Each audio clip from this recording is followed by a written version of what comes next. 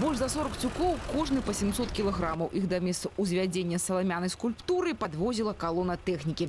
Радыёпрыёмнік саломы размясцілі на ўездзе ў кліжу з боку Магілёва. Мы, э, получается, принимаем непосредственное участие в изготовлении этой самой фигуры. Кто-то делает матрешек, а мы делаем радиоприемник.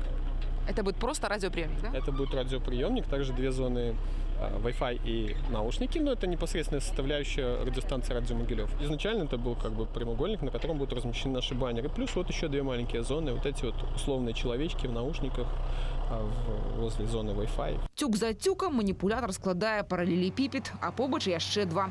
Працаваць радышчыкам дапамагаюць актывісты БРСМ. Я со Шклова у себя помогал маме. Мама работает в Дом культуре и помогал создавать композицию.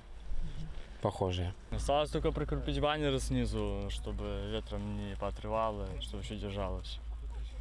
И? И все. А селфи делать будете? Да, это по-любому нужно сделать. Тем более работали А где будете селфи размещать? в Инстаграме, ВКонтакте. Визуально нормально? Выше не надо вообще.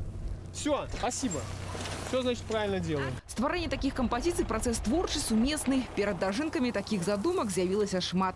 У кіраўніцтве раёна кажуць, клішу плануе здзівіць гасцей свята. Для нас, наверное, самая будет такая высокая оценка, если проезжающие останавливаются, фотографируются возле наших объектов. И эти фотографии мы увидим в интернете, в общем, где-то еще, дай бог, и в газетах э, наших. Калі вы думаеце, што ствараць такія кампазіцыі лёгка, то вы памыляецеся. Гэта на тэлебачанні увесь працэс можна паказаць хутка. На самой справе саламяны радыёпрыёмнік, навушнікі і зону Wi-Fi стваралі некалькі гадзін. У выніку перад уездам у клічаў зараз цікавая фотазона.